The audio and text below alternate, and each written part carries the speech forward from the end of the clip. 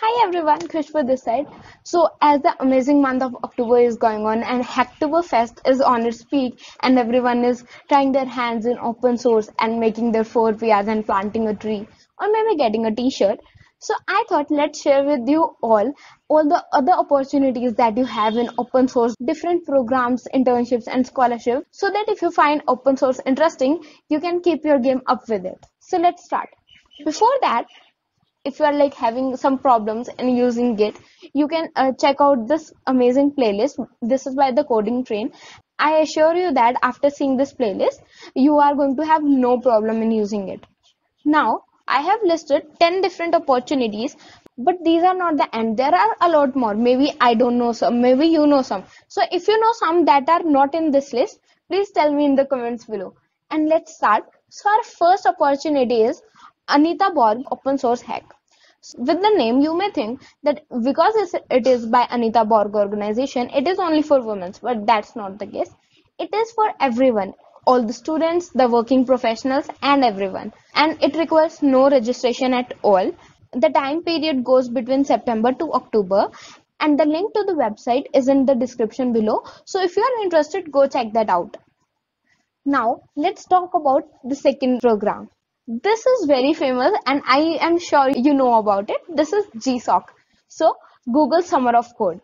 It is only for college students. These are the eligibility requirements. And the application starts near March and the time period is from June to September. So so it is a very great opportunity so if you get selected it is a paid scholarship and you should definitely try for it and let's go to our third opportunity so the third in the list is GSSOC, GSOC. This is by a non-profit organization that is GirlScript. So its name is GirlScript Summer of Code. It is kind of a replica of Google Summer of Code, but the thing, the best part about it is that everyone can take part in it. So there is nothing like I, you will get selected or not because everyone can take part and they will provide you a certificate for it only if you have done enough work. So it is also a three month long program and the application starts in near January and it continues from March to June. The fourth is RSoC. But wait, before that, if you haven't subscribed to the channel, please do and like this video so that so that YouTube get to know that this is a relevant video. Thank you. So now now talking about Rails Summer of Code, it is only for girls and non-binary coders its application starts near March and the time period is from July to September.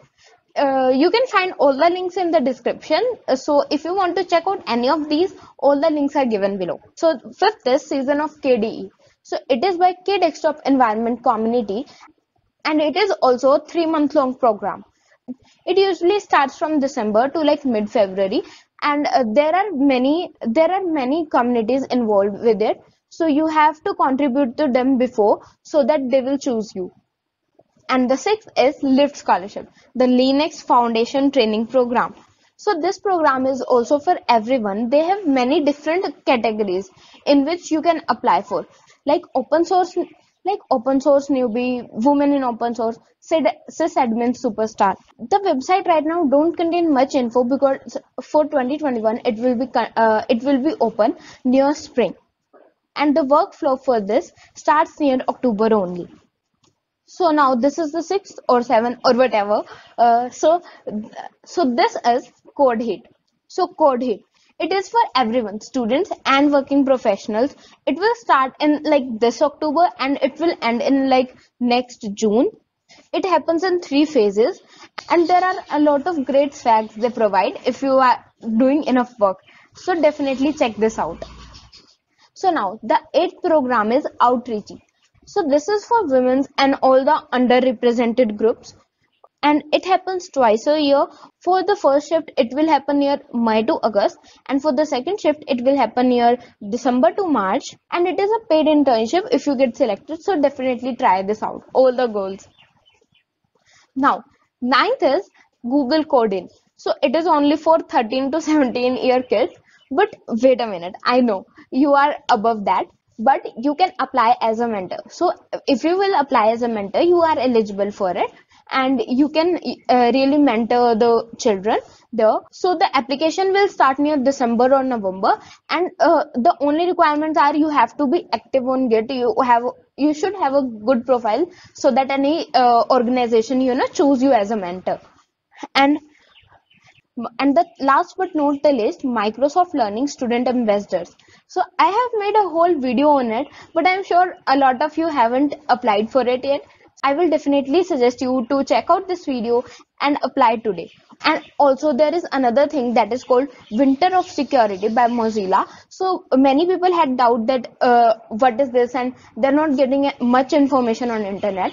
So this was a program by mozilla it happened it was kind of gsoc but it used to happen before 2017 in 2017 it got under gsoc so now it is not any different program. It is under gsoc so uh, i hope this clears everything. Now do let me know that what are all the programs uh, that you have written in your diary that you that i told you to make one.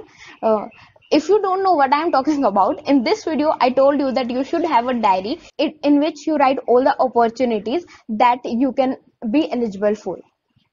If you want me to like make a full video on any of these particular scholarships you can tell me in the comments below and i will be more than happy to do it for you. So if you have any doubts please put them in the comments below. Also you can join my telegram group if you want any advice. After youtube comments i'm more active there uh, apart from other social media. You can also follow me on Instagram and LinkedIn. If you do, please like it and drop down a comment below. And I will see you all next time. Bye bye.